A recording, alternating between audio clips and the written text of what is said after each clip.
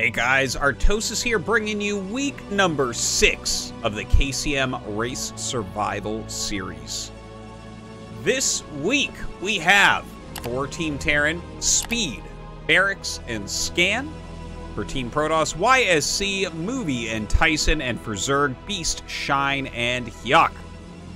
Uh, I'm going to be honest, I like the Terran lineup this week. I think overall it's just a little bit stronger than the other ones. Uh, you know, I guess overall you look at this, maybe the biggest name here is Shine for Zerg, but it feels like Shine hasn't been in his top form uh, lately, whereas Speed, Barracks, and Scan are all getting right near the top of Terran at the moment. So, uh, yeah, I don't know. Maybe maybe Team Terran is going to be able to take it down again this week after... Uh, narrowly defeating Soma from Team Zerg the week before.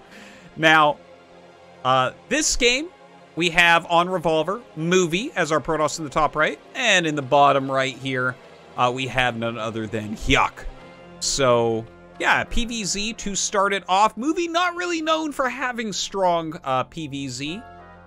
He's had some off and on ones, for sure. Movie plays a lot in the Race Survival series, so uh, we've definitely got to see him a fair amount. I'd honestly like to see a little bit more of his uh, Protoss vs. Terran in here. I hope he is able to take down Hyuk, and we can maybe see him against one of those three TVP monsters. I think he's uh, a little bit better suited for that. But either way, we have Hatchery first coming down. Forge fast expansion here with the second probe leaving the base for Movie's. So we might actually end up seeing a cannon rush. That is a real possibility. Uh, I'm trying to think if I've seen cannon rushes on this map. I don't believe I, that I actually have. So I'm not sure exactly where the positioning is. Uh, it's probably back here. Uh, but we'll see. We'll see. So the probe coming in. Nah, this probe is just heading home immediately. So I don't think he's actually going to do... Oh, no, maybe he will. Maybe he will. Oh. See, when you go behind the the minerals like that, it kind of signals that you're doing it, whether you're doing it or not. Sometimes you want to get Zerg scared with that, make them maybe pull another drone down. Uh, but he decides not to and just goes for the Nexus after the Forge, which is pretty clean. If you attempt the cannon rush and fail, obviously you're in a lot of trouble. Uh, so he should be able to be completely fine, right? Like even scouting two probes is not really an issue. Now Revolver, uh, as you see, it has kind of this funky choke that has a double choke, but it's not that big a deal for Protoss. Uh, you have, right, like the two eggs help. This is a ling tight wall right there. Uh, and then you do have this ramp, which is a little bit annoying. So definitely you need your photon cannon, and generally you just see some zealots sit over on that ramp kind you kind of treat it like uh, the holes that are in a regular wall, if that makes a little bit more sense, right? Like if you think of walls that you normally see, like let's say that we're on like Eclipse or something, the pylon would be here, this egg would be on top of the gate, and the this would be set like this, right? And you'd have a hole here that you need blocked. You'd have like a hole up here or something, and you know, it, generally you do have like at least a couple holes that you need to block anyways, so yeah, no biggie. It's it's not that bad. It looked bad at first. I was like, oh, damn, how's Protoss going to wall that? But they figured it out quite quickly. Now, Lair on the way in the natural here for Hyuk. Third base coming up as well. A couple lings did run by, so that is that is really annoying. Uh, and it matters, it's really up to the Zerg user how annoying this is going to be. In the old days, if Jaedong got these two lings in your base, you were dead. These lings would be alive. You'd have to go, like, You'd have to make four or five Dragoons and hunt them down in your base, like flank them and stuff to be able to get rid of them. It was actually insane. Uh, we'll see what Hyuk is able to do. You see Hyuk right now at 530 APM, so I have a feeling these things are actually going to be very annoying. Oh my god, he's put a lot of damage on a probe, some of them getting very low. This one in particular down to 2 health. I mean, if you're losing probes to this, you're already losing mining time as you drill the probes around to keep them alive. But if you start losing actual probes as well, that's so painful. Of course, he sees with the Overlord and the Lings this uh, the Stargate on the way. There are several Lings coming up the map, and he does have Ling speed coming up as well as a Spire, so we might actually see an attempted bust here. That... That would be painful. Um, I wonder if this is actually Zergling tight right there. It doesn't look it to me, but sometimes these walls with eggs can be a little bit deceiving, or really any walls in StarCraft are, are quite deceiving. Okay, he gets the second Zealot down anyways, so we don't really have to worry about that too much either way. And of course, with the uh, cannon there, you can't even try to attack the Zealots. Now, Citadel is coming up. That first cannon, or uh, that first Corsair, rather, going to be done here shortly. Look at this. These things are still alive, and they did end up getting a probe there, plus all that lost mining time. So very, very annoying for Movie, but not end of the world annoying. Back at the base of Hyuk, we have this macro hatch coming up. Oh, quick Templar Archives for Movie here. See if he's trying to rush out a Dark Templar pretty quickly. Maybe he feels like he can get a little bit of uh, harassment damage done. Corsair flying over towards his third base, and the Spire's not done yet, so he can actually get this before Scourge are out.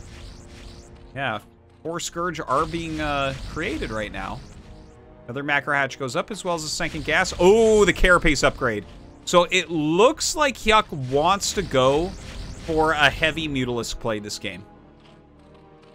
Oh, he actually turned it around.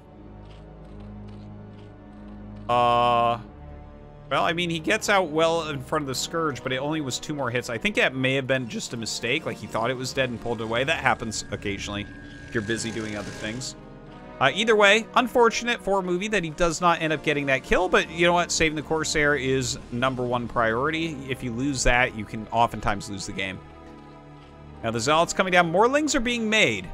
Almost a suspicious amount of lings. If I was Movie, I think I'd be wondering if he is going to end up going mutas here. All right, these are going to get taken out so, so quickly. Plus one attack as well as legs. A little ways off for these Zealots still. Yeah, they really don't end up getting anything done, to be honest. Oh, the DT actually slips in and ends up getting three kills before going down. So not completely worth the cost of the DT, but a good try. Sometimes that's going to get you a lot more than that. Now, Mutas and Scourge coming out. Let's take a look at this Corsair count. We have four here, fifth one popping, four gates on the way. We have no cannons in the main base, which scares me a little bit. No cannons here really either. Maybe the Mutas can fly up and catch him off guard. Like, there's literally only one photon cannon right now. Uh, sometimes as well against mutas, what you do is you send out zealots that the lings can't really deal with because they have plus one and speed. Uh, and then you kind of have to send the mutas after them as well, which will buy you time for your cannons. All right, looks like uh, just kind of sitting on the mutas right now. Is he going to make a lot more? We have the plus one going on the evolution chamber. So there is definitely a planned transition into Hydralisks coming up. There's almost always that anyways. Uh, normally you only stay mutas if you're actually killing your opponent. Like, if you are on the very edge of killing them.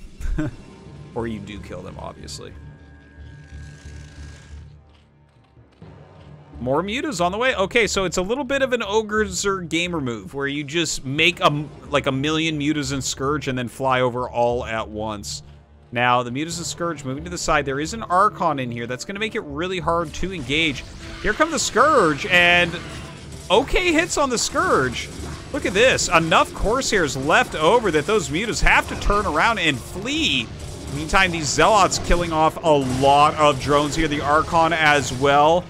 That, I mean, that's a lot of damage. Might that be it? There's just slings and mutas being made right now, and it does not feel very promising, any sort of uh, defense he has planned here. The Hydralisk Den going to be taken out, so that makes Movie's job very easy. He knows exactly what's going to be made defensively.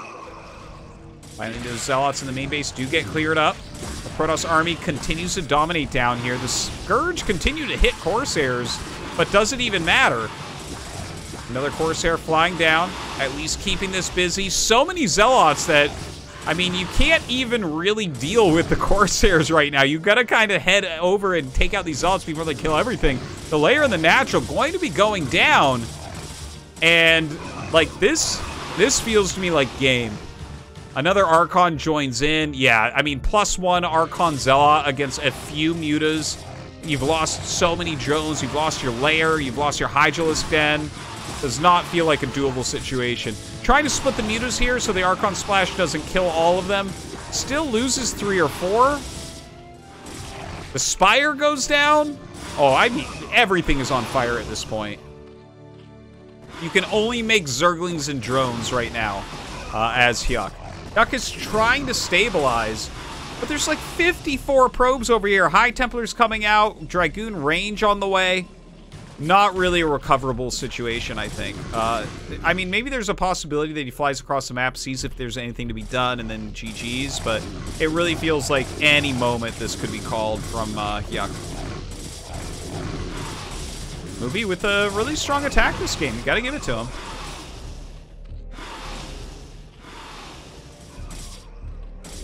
Yeah, the Zealot's still running amok. The Mutas just on cleanup duty.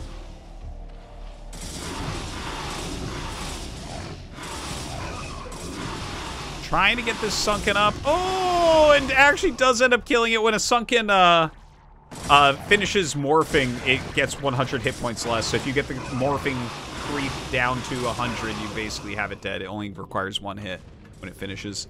Okay, you got a GG here. Come on, everything hits air now. Everything is highly microable. GG! Movie wins game one.